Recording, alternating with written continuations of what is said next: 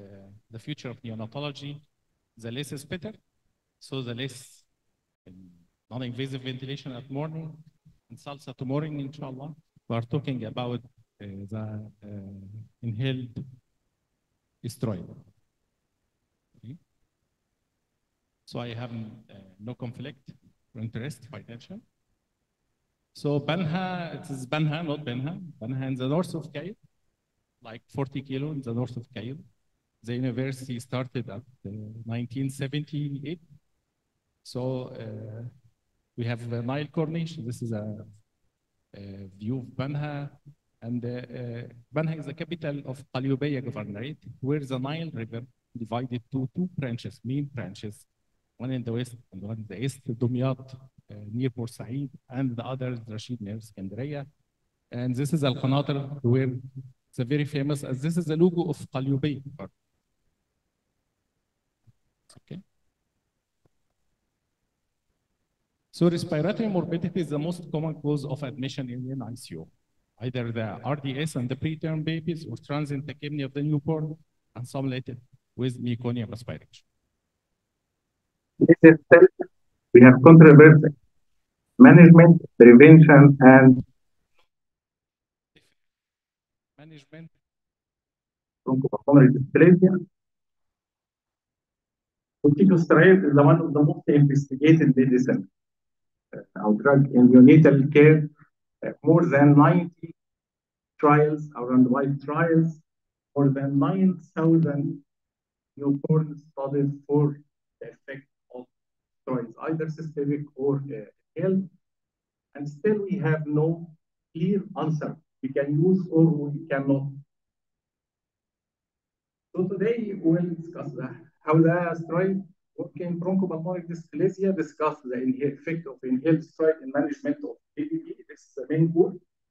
Discuss the update of intra tracheal installation of corticosteroid for management of bronchopulmonary dysplasia. Review is there is any role for transit uh, steroid in TTN and meconium aspiration.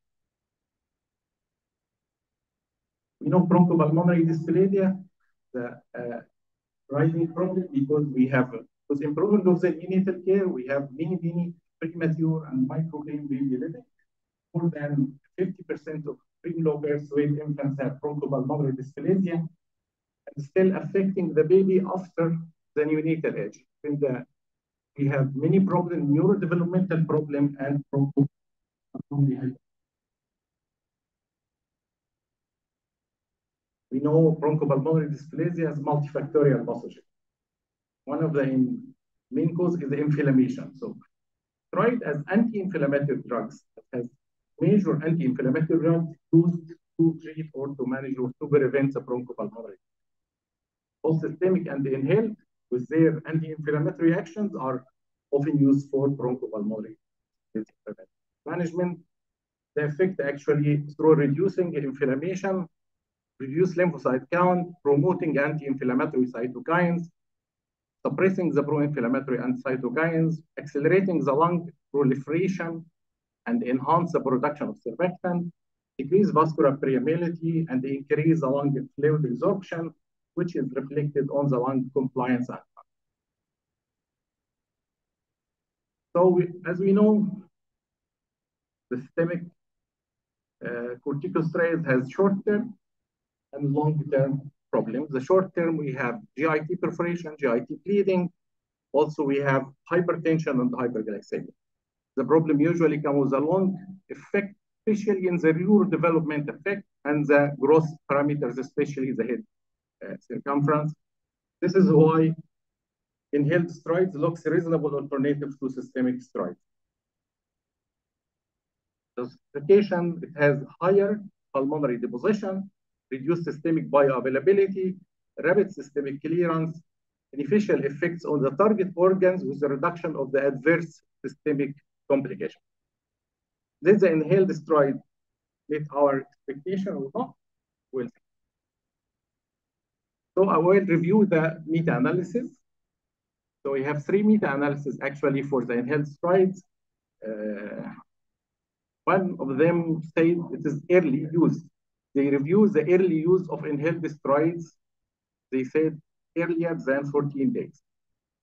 The meta-analysis of early inhaled steroid in the study, we have 1,643 terms.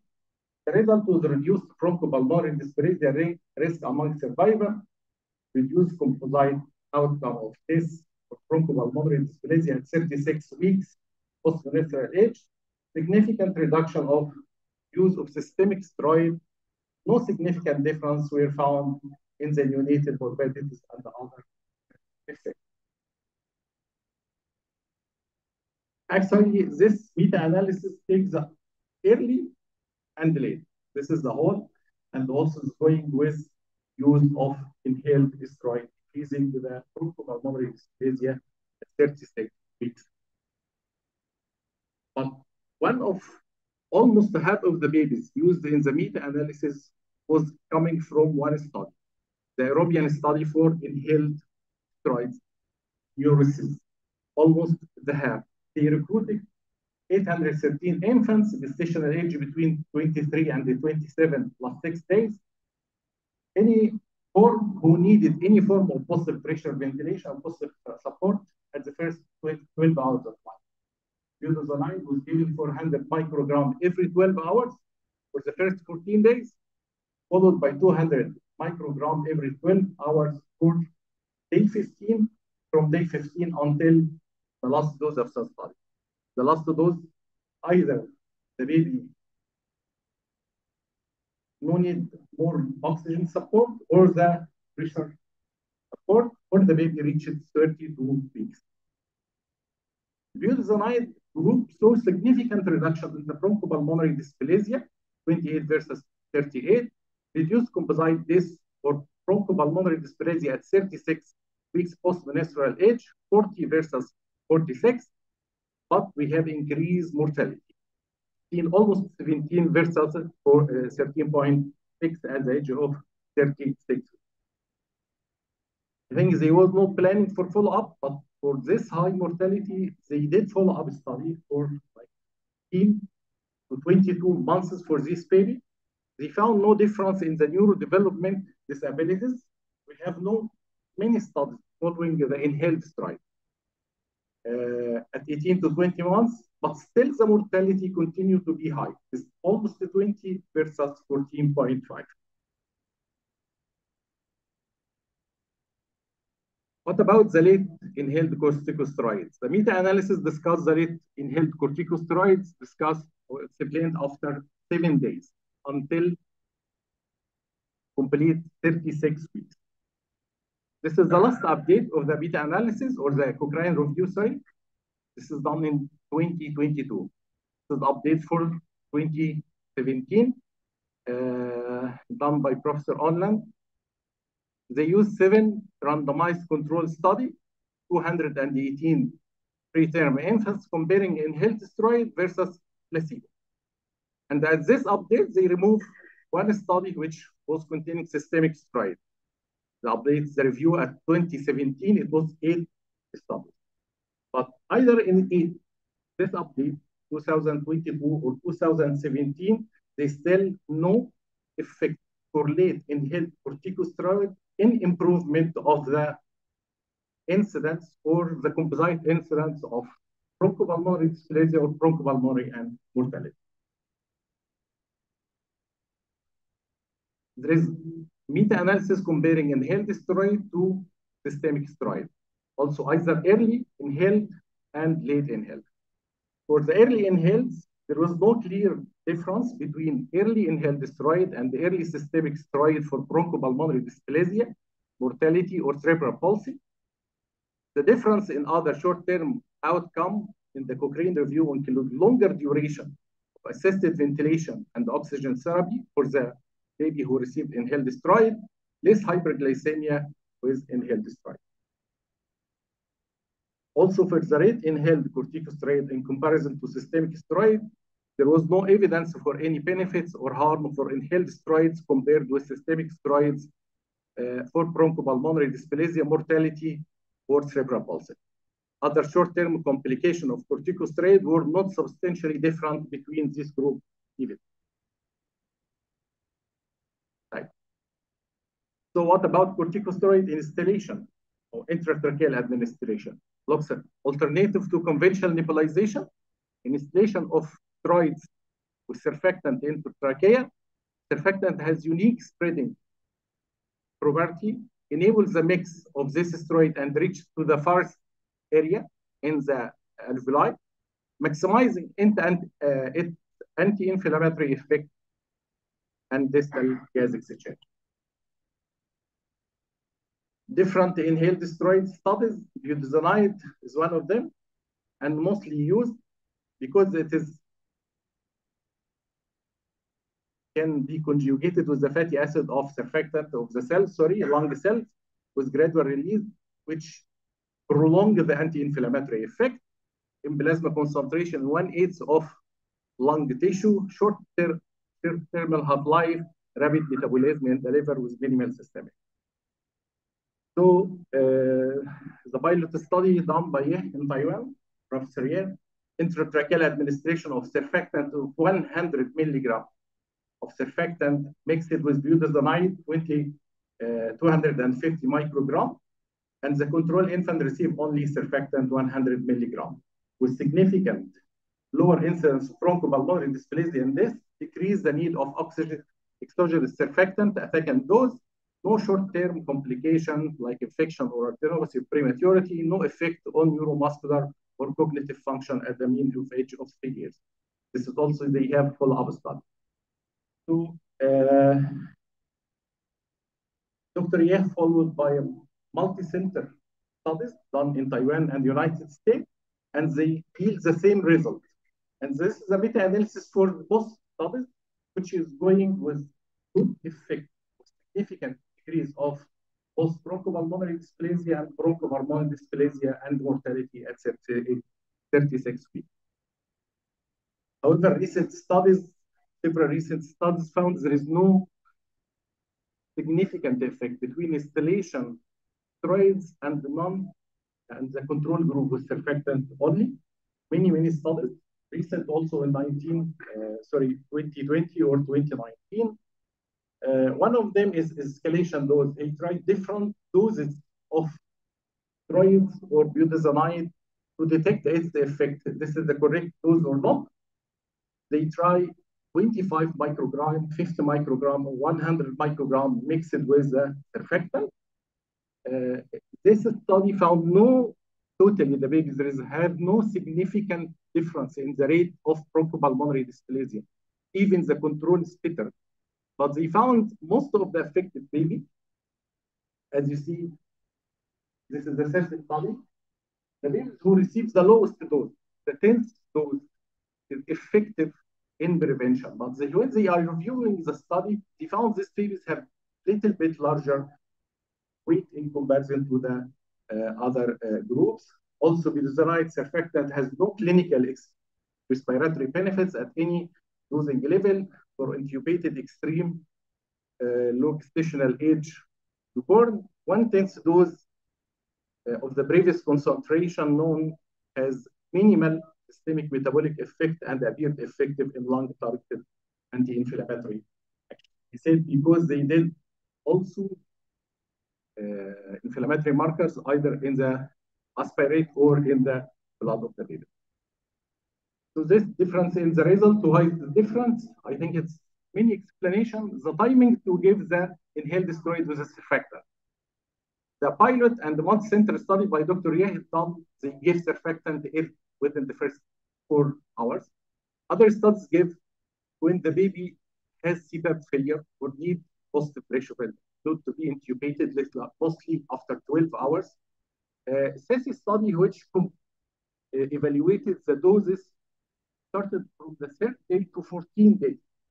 Okay, this may infection also the criteria of uh, admission of the babies. Some use the weight less than one uh, 2.5 or one 2.25, and some studies use gestational age. Also, maybe the rest. The many studies done Taiwan, uh, Korean study, and uh, Western or United States. So we have uh, for effectiveness, this is a meta-analysis in 2022.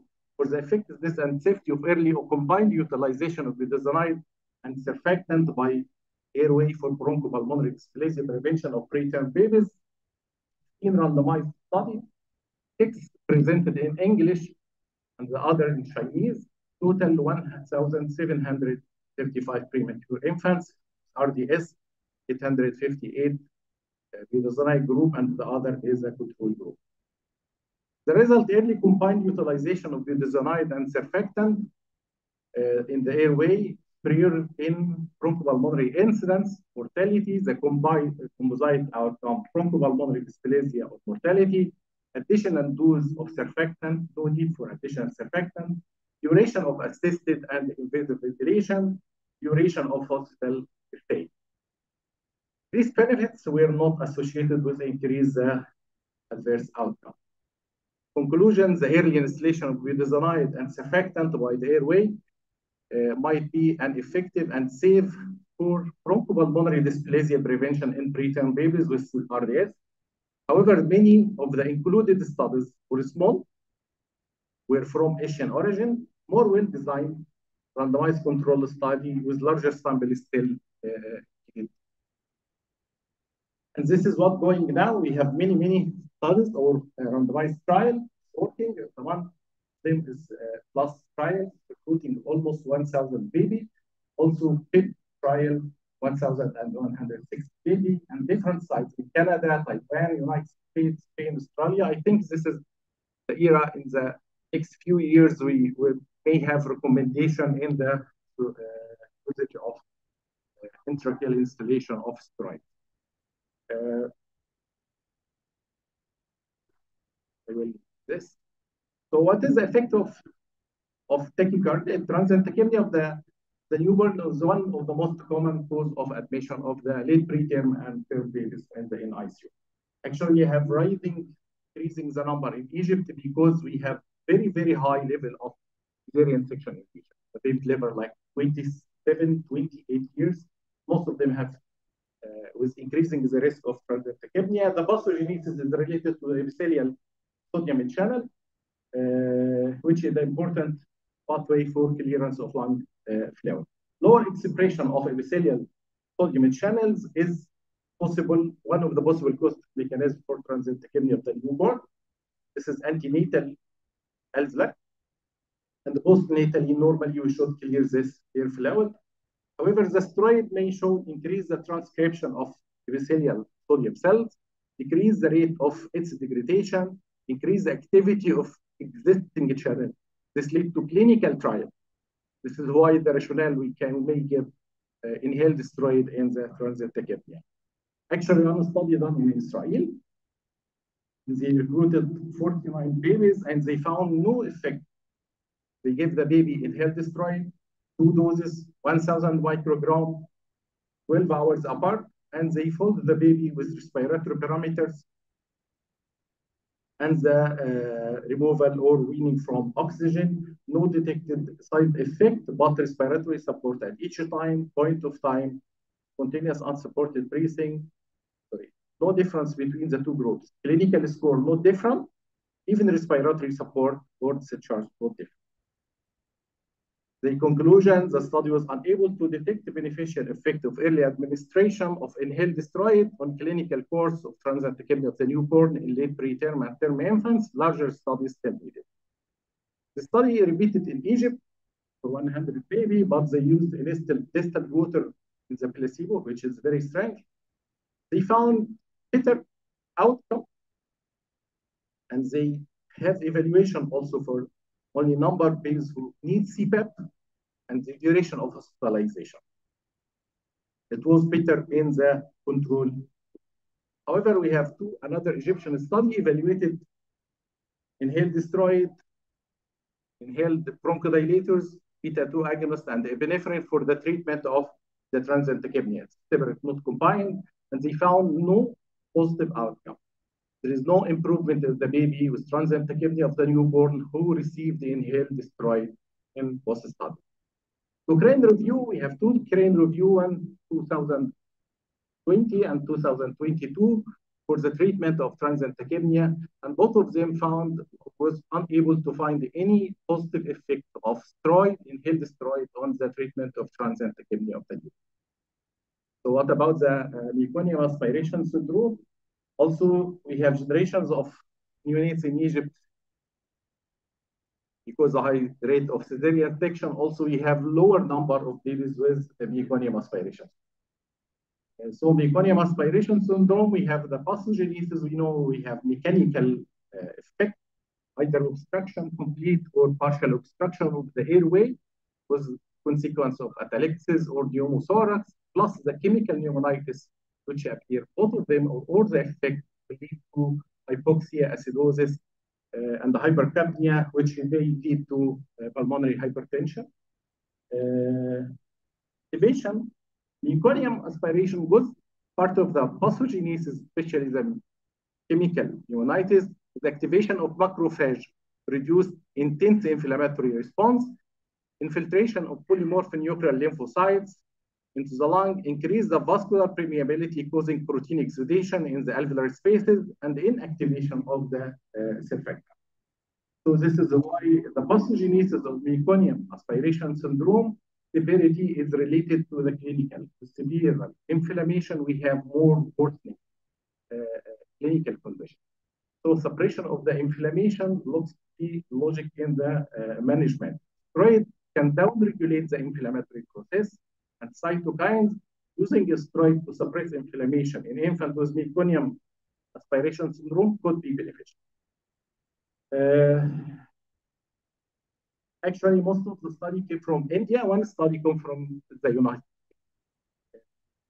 Local and systemic administration of steroids resulted in both of animal studies and even in pediatrics, decrease histological neonatal age group, sorry, decrease histological evidence of pulmonary inflammation, improve oxygenation, decrease neutrophils migration, reduce reactive oxidative damage, and subsequently decrease the pulmonary tissue necrosis. I will review the meta-analysis. This is the latest one.